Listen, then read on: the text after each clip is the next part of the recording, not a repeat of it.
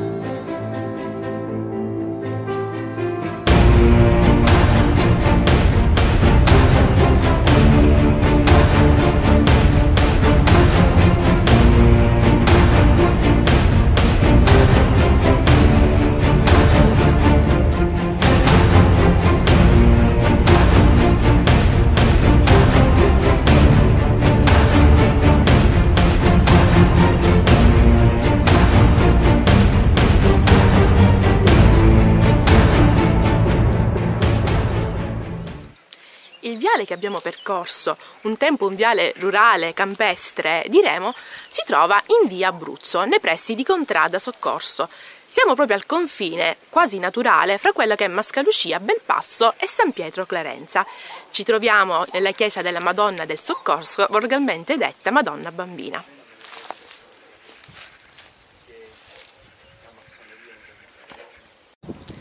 Pensate che in questo luogo un tempo c'erano ben otto chiese, la maggior parte dedicate proprio alla Madonna, testimonianza che il culto mariano in questa zona era davvero molto sentito. Infatti ci troviamo a pochissimi centinaia di metri dal santuario Madonna della Sciara e dalla chiesa della Misericordia. Tutte e tre le chiese che vi ho menzionato fanno parte di quelle che oggi chiamiamo preziosità montpillerine.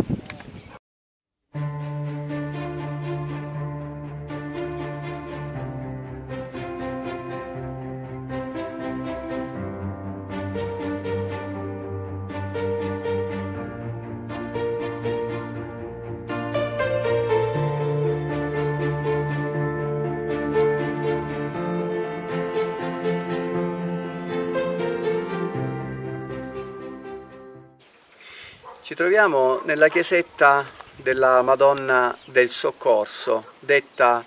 eh, dalla gente della Bambina. È una chiesa che eh, nasce all'incirca nel XVI secolo e che eh, a causa di una serie di eventi, specialmente della venerazione dell'affresco della Madonna del Soccorso, è diventata anche un po'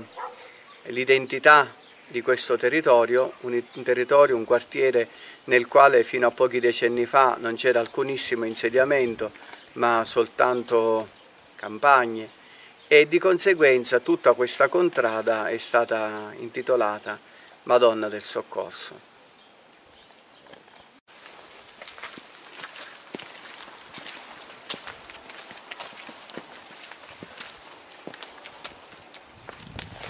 No, io prima no. Ci troviamo proprio davanti all'affresco della Madonna del Soccorso. Questa è una riproduzione settecentesca dei primi del Settecento dell'originario affresco della Madonna del Soccorso che a causa specialmente di una serie di scoperte fatte in occasione del recente restauro di questo affresco, ci portano a ritenere che sia quello, l'originale affresco della Madonna del Soccorso, sarebbe quello che sta al di sopra della porta d'ingresso della chiesa. È una storia un po' articolata. Intanto, ecco, ehm, c'era qui una prima chiesetta della Madonna del Soccorso nella quale eh, nel 1693, eh, l'11 gennaio, ecco, si sparge la voce che eh, la Madonna abbia trasudato, l'affresco della Madonna abbia trasudato. E allora viene organizzata una grande processione penitenziale, in modo particolare guidata dai sacerdoti e dai confrati del Santissimo Sacramento, che sono raffigurati qui nella parte in basso, sotto i piedi della Madonna e sotto la nuvola, che questa processione si snoda dalla chiesa di Massa Annunziata, allora la chiesa madre di Massa Annunziata, fino a questa chiesa che è indicata appunto dall'altro lato dell'affresco. E, ehm, che cosa succede? Che grazie a questa processione, eh, quando arriva il grande terremoto di quell'11 gennaio del 1693, era all'incirca le 13.30 del pomeriggio, ecco la gente viene salvata dalla distruzione sia di questa chiesa che subisce gravissimi danni e sia della chiesa madre di Massa Annunziata, oltre che delle case del quartiere dove risiedevano gli abitanti. Per questo motivo la gente ha gridato al miracolo. Allora cosa succede? Abbiamo noi una relazione, una testimonianza di padre Giuseppe Motta, che era il vicario di Massa Annunziata di quel tempo, nel 1696, soltanto tre anni dopo, durante la visita pastorale di Monsignor Riggio, ecco lui lascia questa piccola relazione, questa breve relazione, che ancora ora è custodita presso l'archivio diocesano ed è stata pubblicata nella, nel lavoro di studio del dottor Giancarlo Santi, ecco, lascia questa piccola relazione eh, nella quale racconta di questi eventi ci dice anche che poi questa chiesa viene rimessa in condizione di funzionare, in parte ricostruita. E nello stesso tempo noi abbiamo avuto in occasione di questo restauro ecco, una dichiarazione importantissima dai fatti che ci dice che questo, cosa che si pensava fino a qualche tempo fa, fino a prima di questo restauro, ecco, eh, ci dice che questo non è non sarebbe l'affresco eh, dal quale ecco, è avvenuta la trasudazione, ma appunto, come ho detto prima, eh, quello che sta al di sopra della porta. Questa sarebbe una ridipintura perché? Perché quello che aveva trasudato fu evidentemente gravemente danneggiato dal eh, terremoto, anch'esso insieme con tutta la chiesa e quindi Abbiamo avuto un'importantissima eh, testimonianza dal fatto che quando abbiamo eh, provato a fare un piccolo intervento su un punto dell'affresco che dava segnali di cedimento, abbiamo scoperto che questo piccolo affresco eh, che sta sopra la porta della chiesetta praticamente è stato tutto staccato da un precedente sito ed è stato portato lì e inglobato in questa cornice dentro il quale oggi lo vediamo, e cornice peraltro che richiama anche un po' la fattura delle cornici degli altri due eh, affreschi. Per cui questo cosa ci ha portato a comprendere? Che l'affresco della lacrimazione, della essudorazione sarebbe proprio quello che sta al di sopra della porta. Ma questo l'abbiamo, lo pensiamo di poterlo dichiarare come assodato anche per un'altra ragione, perché fino a prima che tutto questo accadesse, sia qualche studioso, ecco, eh, sia noi ritenevamo che ci potesse essere stato un intervento successivo sull'affresco, qualora fosse stato questo a esudorare, perché perché se è questo che ha essudorato, com'è possibile che di sotto ci sia già il racconto del prodigio? Se è questo che hai sudorato, com'è possibile che di sopra ci sia questo cartiglio con l'iscrizione nel sudore del mio volto dall'ingente terremoto ho liberato questa patria anno 1693? Ecco, dovrebbero essere state delle aggiunte postume. Invece il restauratore Giovanni Calvagna e, e poi il figlio ha ripetuto questa cosa nel giorno dell'inaugurazione di questo restauro, ci assicura che l'opera nasce tutta contemporaneamente. Ecco, quest'opera nasce tutta in contemporanea, per cui evidentemente è un'opera che vuole raccontare un fatto che non è accaduto relativamente a quest'opera. Ecco, Guardando adesso allo specifico di questo dipinto, l'iconografia è quella della Madonna del Soccorso e della Madonna della Cintura. Sono due titoli eh, che confluiscono nell'ordine agostiniano agli inizi del 1300 a seguito di una serie di fatti prodigiosi. La Madonna del Soccorso ordinariamente è rappresentata con una mazza una mamma nervosa, arrabbiata per, conti, per, i continui capricci del figlio, avrebbe invocato il diavolo eh, contro di lui e la tradizione vuole che il diavolo si fosse fatto presente per portare con sé il bambino. Sarebbe quindi apparsa la Madonna, invocata dalla mamma pentitasi di quello che aveva fatto, sarebbe infatti apparsa la Madonna per liberare questo bambino cacciando a colpi di mazza il demonio. Ma l'ordine agostiniano porta avanti anche la devozione alla sacra cintura, la sacra cintola della Madonna, che sarebbe legata al fatto che,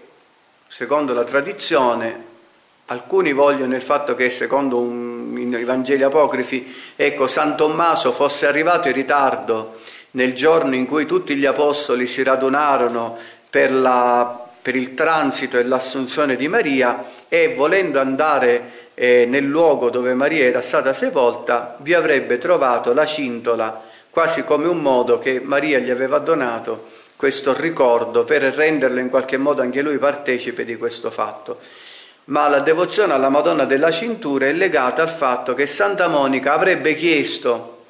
alla Madonna, dopo la sua vedovanza, di poter sapere come si vestiva Maria nel, nel tempo in cui non aveva più accanto Giuseppe, suo marito, e nel tempo dopo la eh, l'ascensione del suo figlio e la Madonna gli avrebbe, eh, gli avrebbe proprio mostrato un abbigliamento molto umile, molto povero, cinto da una cintura di cuoio che poi ecco, sarebbe diventata anche un po' l'emblema degli agostiniani. Ora questi due aspetti iconografici convergono in questo affresco, cioè il bambino non viene liberato dalla mazza, dalla Madonna che tiene in mano la mazza, come in molte altre opere che si trovano in Sicilia e in Italia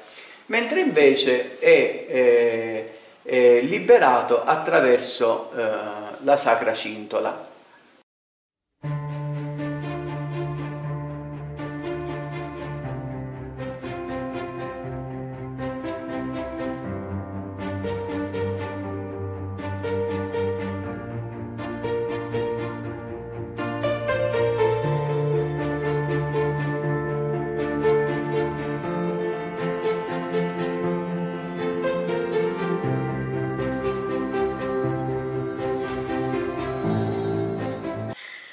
Ecco, il restauro dell'affresco settecentesco ha portato una grande sorpresa perché eh, inizialmente al vedere lo stato in cui si trovava, ecco, sembrava che fosse tutto da riprendere. In realtà tutto ciò che costituiva macchie, eccetera, era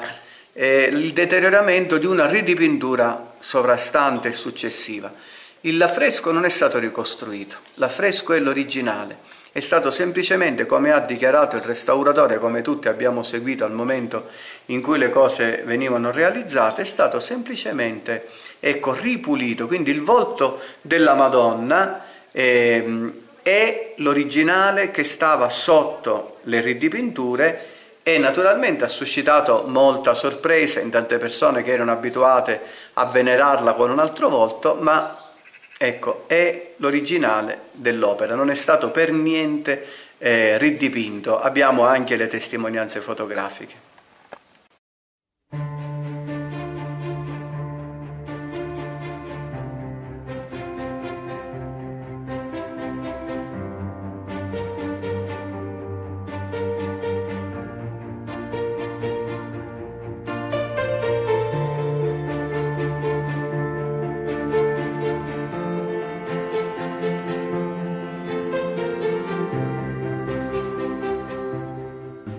Allora, qui ci troviamo davanti all'affresco della Natività della Beata Vergine Maria. E, ehm, è un affresco che diversamente dall'affresco della Madonna del Soccorso che ha avuto questo bell'intervento di ripulitura che ci ha permesso di comprendere tante cose, questo è un affresco che è rimasto eh, ricoperto da sovraddipinture e ancora ora non siamo nelle condizioni di poter procedere all'intervento di pulitura Ehm, l'iconografia è quella classica, bene o male, della Madonna della Natività di Maria. Abbiamo eh, San Gioacchino che tiene in mano il libro della scrittura in cui emerge una frase del, del libro dell'Ecclesiaste a capitolo 24, versetto 5, dove parla della sapienza generata prima di tutte le cose per essere un'immagine di come Maria è l'aurora della redenzione. Abbiamo Anna che eleva eh, la Vergine Maria e questa, questa linea con eh, Dio Padre e lo Spirito Santo, questa pioggia di fiori eh, gettati dagli angeli e questa donna che evidentemente è colei che ha aiutato per il parto eh, che eh, mostra eh,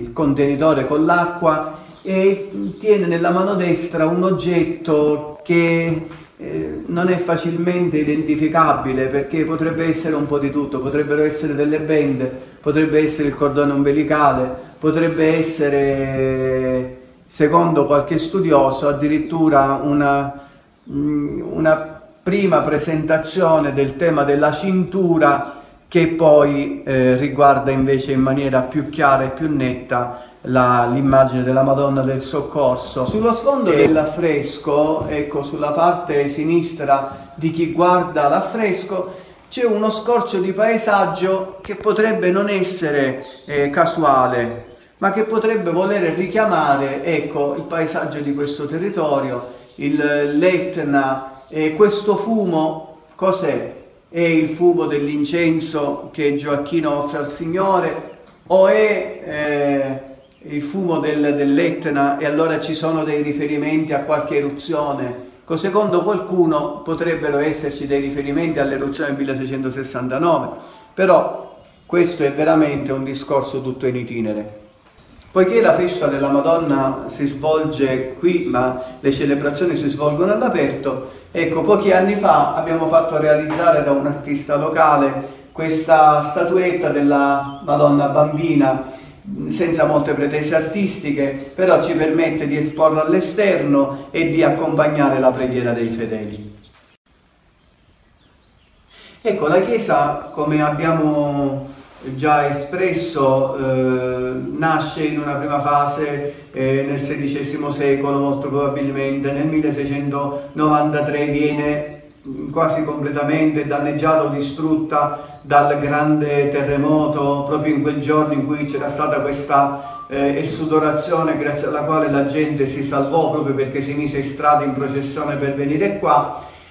Poi eh, nel 1900, diciamo nella prima parte del Novecento, ecco, noi abbiamo la chiusura di questa, di questa porta, perché la chiesa aveva due porte d'ingresso, ecco, viene chiusa questa porta, viene murata e vengono costruiti all'esterno dei contrafforti che permettano di assicurare la solidità di questa parete che evidentemente doveva essere molto segnata da crolli e da cedimenti. All'esterno si vede anche la soglia di questa, di questa porta che è stata murata.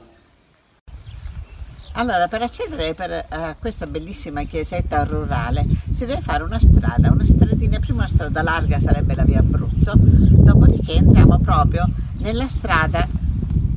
pedonale per arrivare a questa chiesa ed è l'antica Strazzalazzi. Perché questa strada viene chiamata Strazzalazzi? Perché le persone che accedevano a questa strada per andare alla chiesa e per passare nei paesi successivi tipo San Pietro Clarenza e Belpasso con le loro eh, bisacce piene di materiale sopra gli asini strofinavano su queste pietre appuntite e venivano tagliate quindi perdevano parte del materiale. E perciò venivano proprio strazza lazzi, cioè straccia la, la, i sacchi di aiuto. Questa strada era tutta piena di edera, l'edera è una pianta che attacca sulla pietra lavica in una maniera enorme ed era tutta diciamo corredata di questi due muri paralleli che alla prima volta che io sono entrata mi è sembrata proprio la strada che portava all'innominato di Alessandro Manzoni.